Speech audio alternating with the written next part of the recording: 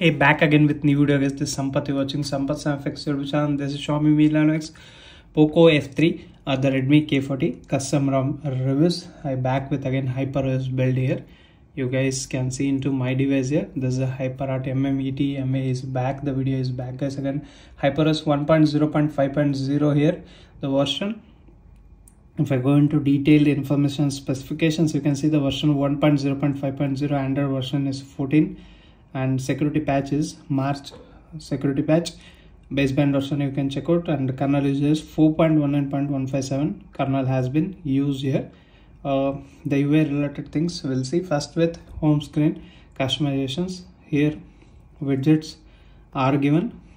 As you can see you can categorize them discover or recommended widgets. You can drag and add them. For example if i want to add this one weather just select that and add to home screen. Yeah i'll tilt it to next page. Yeah. That's how it looks like.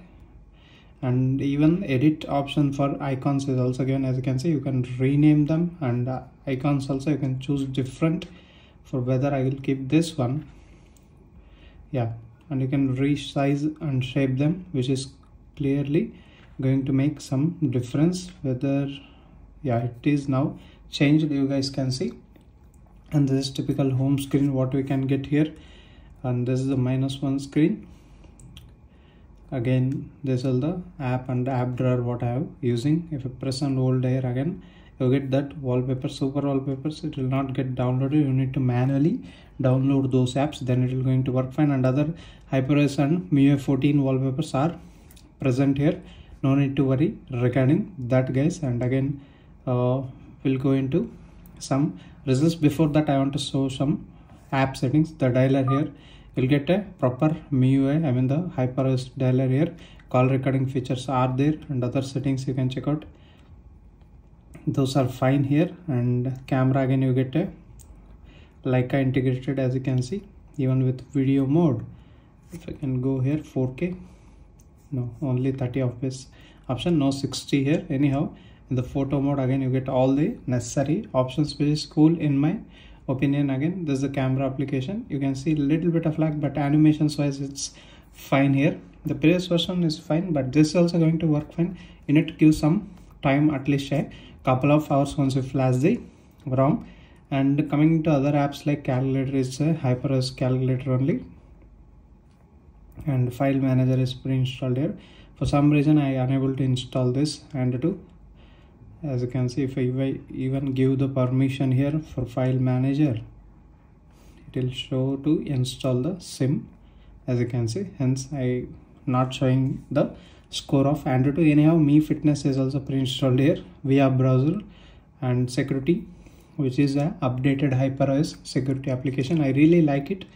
And you also get some options here as you can see change scanning if and you can make it to stack again. Recorder option is there sound recording. And scanner other things remain same here. Gallery again i'll show the results. Before that these are the options you get here. Recognize table text. And even in the edit section you also get the uh, AI beautify sky other things also. You'll get that. That is really fine in my opinion. Now starting with the results here. Geekbench score 621 is the single score and 2334 is the multi score and geekbench 6.2.2 i think so. The scores are very wrong here are very much less for Mi 11x uh, maybe because of the custom rom it is not recognized well. Anyhow there's a score what i can get achieve from this particular rom. Again Linux 4.19.157 perf kernel has been used. Xiaomi Mi 11x android version 14 and this is the read write speed sorry cts profile match and basic integrity both getting passed here and device is certified and watching sorry using payment applications like google pay PhonePe is not a problem here again. Watching OTT is not a problem. HDR10 and level 1 certified. Again these are read write speed test with graphical numbers. And this is Airtel fiber connection with 200 Mbps plan. It is pulling up to 240 and this is the charging speed i mean the 33 watt charging support is there mi turbo charge support is available in this rom no need to worry regarding that. These are the results and app settings and all. We'll go into settings here very similar to other hyperos builds here. Here you get hyperart mods here.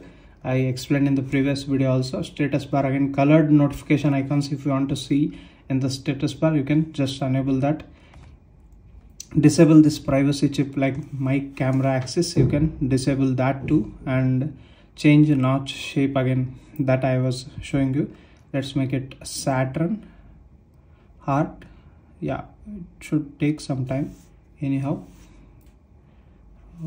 Status bar again now style. Let's keep it saturn. After some time it will get changed. In the previous video also i was showing you that. This all the status bar customization. Again control center if you want you can add this bluetooth and flashlight and bluetooth and hotspot. Big icons if you want them you can add them. And this all the quick setting toggles. Nfc is also given here. And in the edit section there are few options you can check out. And miscellaneous settings again ios like dynamic island and system us specs and extended power menu. If you want you can do that as you can see you can directly boot into recovery. System UI device specifications. If you want you can do that and in the display settings again max fps in all apps and enable AOSP clipboard if you want. You can do that hidden settings again. You get iOS status bar is given here. And if you want to enable that yeah apply. Let's see. Yeah it's look like that. But this recent apps are not a iOS style. That should have been added at least anyhow. And this all the other uh, hyper art mods you get here. Apart from that everything is remains same again here. You get all the basic connectivity options and wallpapers and personalization. Again you get this lock screen customizations and effects fonts icons. Again everything remains same here. Even lock screen again you get these options here. Notification status bar again control center style. And if you want to disable this smart hub make it none. Now the icons have been removed. Remaining icons are present home screen again you get plenty of customizations here as you can see. Animation speed this recent apps is not given ios kind of style. Other than that everything is fine. With app drawer and classic light mode are given here. Again display and brightness dark theme. The UI is very much smooth guys. Also you get this dark mode options. Force them. And custom and all is also given here and if I disable the auto brightness you also get the sunlight mode which is a handy feature. Again color scheme again you get plenty of options here too. Refresh rate and reading mode you can schedule them. Custom you get up to 90 120 options are also given. Keep it default. Adaptive refresh rate. AI image engine all three options are given. HDR enhancement if you want you can enable that. And again sound and touch again you get additional settings here you guys can see sound effects. Again you get Atmos and Harman Kardon certification here. Again moving into battery again you get four different modes. You can check out the battery life also. Very much better compared to previous version. Now coming to locks here you get app lock also and screen lock and fingerprint unlock. Let me show you the fingerprint unlock first and followed by the face unlock as you can see. Both are very much fast and accurate. I really like it and moving into some privacy and security you get these all some region specific guys. The earthquake alerts and all. And the screen time is also given. Google services also pre-installed here. If you want to root this you can use Magisk uh, latest one. And flashing method everything is given in the description. Check out guys. And in the additional settings if i want to show you um, you get accessibility menu again. Vision hearing physical those are given in general also. You can get screen recorder option is there here you can check out maximum resolution is 2.4k and gesture shortcuts again you get plenty of options here too. And screen recording features are given. Front camera assistant tablets floating windows again. Everything is fine guys. I haven't faced any issues as of now. If i'm in this and make it floating window as you can see. Next enable that. And if you can want to use the text messages you can do that. This will be remained here. If you want you can keep it side also. And you can actually keep them this side. You can make it out floating windows. That's fine. Multitasking is next level in hyperOS quick ball again you can actually activate this too as you can see you can assign the actions for individual buttons and you can drag and drop these things again. That's how the customization and uh, multitasking here tab plus memory extension up to 6 GB my variant is 6 GB kit space is given. Front camera assistance is also given. These all the things you get in the additional settings. Everything is working fine guys. I haven't faced any issues. Uh, just minor lags once you boot into that it might take some time. As of now it's very good as you can see. The vibration haptic strength should have been better but anyhow it's fine. And now if i can change this to silent mode you also get that dynamic island feature as you can see. And this is the volume panel what we can get here which is similar to any hyper os builds. We'll see the bgm and wind of this video.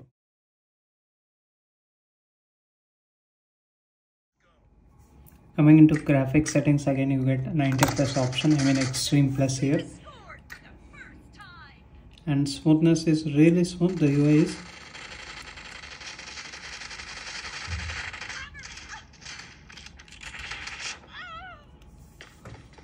there's a volume panel and there's a gaming mode what we can get here. I have turned on the performance mode. If you want to save the battery you can keep it balanced also. But i recommend to use the performance mode. And again you get here saturated bright options. I want this bright and saturated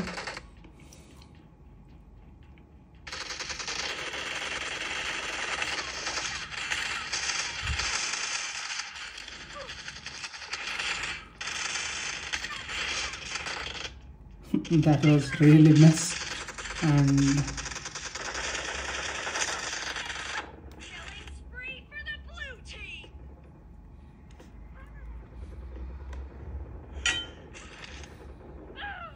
yeah finally I got here. That's the gaming experience is really good here. It's been good from previous builds also. I haven't faced any issues in gaming and even while using day-to-day -day usage even in the counter attacks there is no lag as you can see. That's the gaming experience guys. And fps count you can see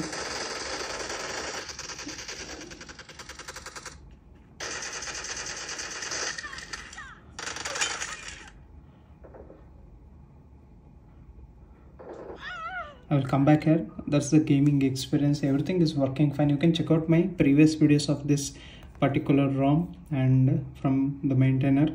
This uh, status bar change NOS type Mickey Mouse. These are not getting uh, done as of now. I don't know why but overall it's a great ROM available for Mi 11X or the Poco F3 guys. And I recommend you to join the WhatsApp group for this particular device itself and link for uh, those are given in the description and uh, flashing method and firmware used are also given in the description. Check out and if you want to follow me on the social media those links are also given in the description. You can check out. And if you're still not subscribed to my youtube channel hit that subscribe button guys and also allow the bell notification. Pressing the bell icon. Whenever i upload a new video like this you'll get notified. And if you like the video give it a like guys. I will be motivated to make similar kind of videos and we'll meet you with another interesting video. Until that keep smiling bye bye for now